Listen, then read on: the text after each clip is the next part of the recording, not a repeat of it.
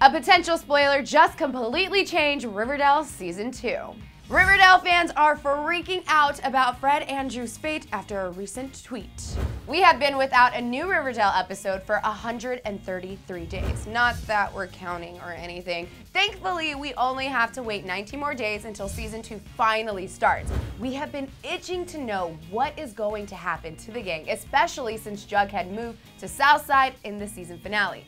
More urgently than that, Fred Andrews' fate is still unknown. After the initial shock of seeing him get shot by a masked gunman on the finale wore off, we started to freak out about the possibility that the only good parent in Riverdale may die.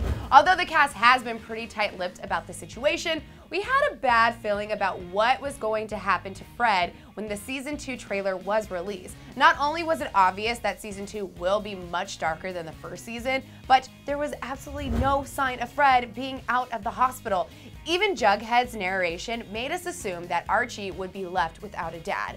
Mix that in with the fact that Madchen Amick, who plays Alice Cooper, posted a picture to Instagram of the whole cast doing a table read for the first three episodes, and Luke Perry was nowhere in sight. We felt like it was all but confirmed that Fred would die.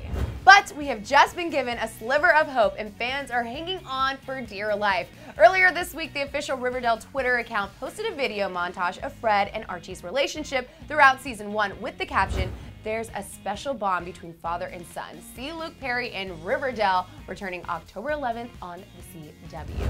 Did Riverdale just give a massive spoiler for its own show? We think so, and so do a ton of fans. The fact that they are promoting Luke Perry specifically and saying that he is returning is making us believe that Fred will survive the gunshot after all. Almost every reply to the tweet is some variation of, does this mean Fred is alive? And we are right there with them. We cannot wait to discover the truth behind the attack and get some confirmation on Fred's health.